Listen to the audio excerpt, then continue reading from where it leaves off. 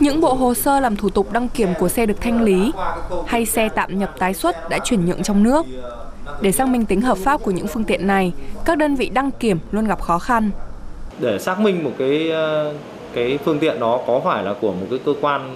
ừ, có thẩm quyền của nhà nước thanh lý hay không hoặc là cơ quan ờ, công an có cấp cái đăng ký xe đó không thì cũng là một việc rất là khó khăn bởi vì không có một cái cách thức nào liên hệ mà cái việc mà thực hiện kiểm định cho chủ phương tiện ấy thì phải diễn ra trong ngày vì vậy mà nếu mà để mà xác minh được kịp thời gần như là không thể Trước thực tế đó, ngoài việc yêu cầu các đơn vị đăng kiểm tăng cường kiểm tra giấy tờ xe, số khung, số máy và các yếu tố nhận dạng phương tiện, thì hiện nay quy trình kiểm định với xe thanh lý đến đăng kiểm lần đầu cũng được bổ sung. Theo đó, những trường hợp này sẽ chỉ được cấp giấy hẹn trả chứng nhận đăng kiểm. Bằng cách này, các trung tâm có thời gian xác minh với công an xem hồ sơ đăng ký có phù hợp với hồ sơ đăng kiểm hay không, tránh tình trạng sửa hồ sơ để đi đăng kiểm.